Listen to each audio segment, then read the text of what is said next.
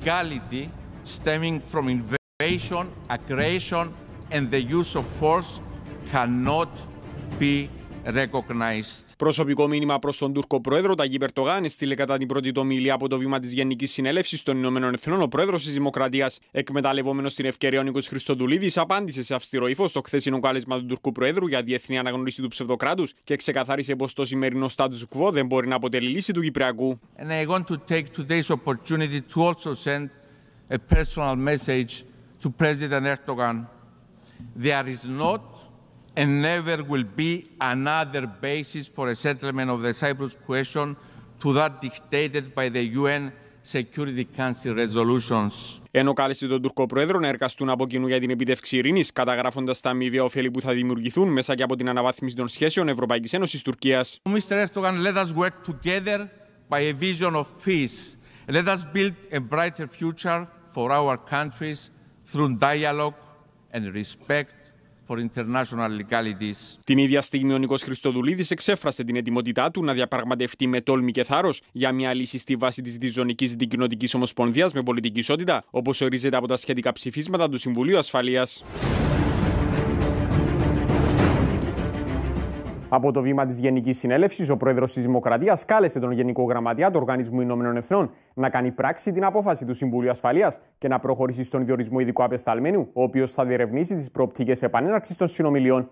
Παράλληλα, έστειλε μήνυμα προς τους Ευρωπαίους εταίρους πως οφείλουν να δράσουν αποφασιστικά με όλα τα μέσα που διαθέτουν για την επανένωση της Κύπρου. The United Nations and its Secretary General have the responsibility prescribed in the UN Charter to act as a catalyst for peace in Cyprus.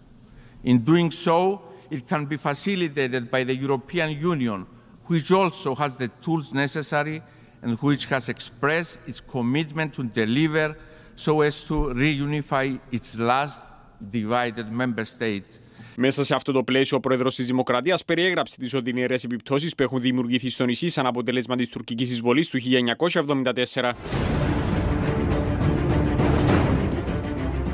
Ο πρόεδρος της Δημοκρατίας εξέφρασε την έντονη του ανησυχία για τις επιπτώσεις που προκαλεί στασιμότητα στο κυπριακό πρόβλημα, απαριθμώντας τις τουρκικές παραβιάσεις σε βάρο η αποκλειστική οικονομική ζώνη και τις πρόσφατε μεθοδεύσεις που επιχειρεί το κατοχικό καθεστώς στην περιοχή της πύλας. We have witnessed in our maritime zones and we have witnessed more recently in the buffer zone where attacks on UN peacekeepers by Turkish forces horrified and alerted us again to the urgency of peace in Cyprus. Κατά την ομιλία του, ο πρόεδρος της Δημοκρατίας καταδίκασε τη ρωσική εισβολή στην Ουκρανία, την οποία παραλήρησε με την τουρκική εισβολή στην Κύπρο το 1974. Εξάλλου, η εξέλιξη στο Κυπριακό και όσα αδιαμήφθησαν στη συνάντηση του Πρωθυπουργού της Ελλάδας με τον Τουρκο Πρόεδρο, αναμένεται να βρεθούν στο επίκεντρο της συνάντησης που θα έχουν στις 11 το βράδυ ώρα Κύπρου Νίκος Χριστοδουλίδης και Κυριακό Μητσοτάκης. Ο Τούρκο Πρόεδρος από το βήμα της Γενικής Συνέλευσης χθες βράδυ υποβάθμισε τον ρόλο των Ηνωμένων Εθνών και ζήτησε αναγνώριση του ψευδοκράτους. Εντύπωση πάντως προκαλεί και η ματέωση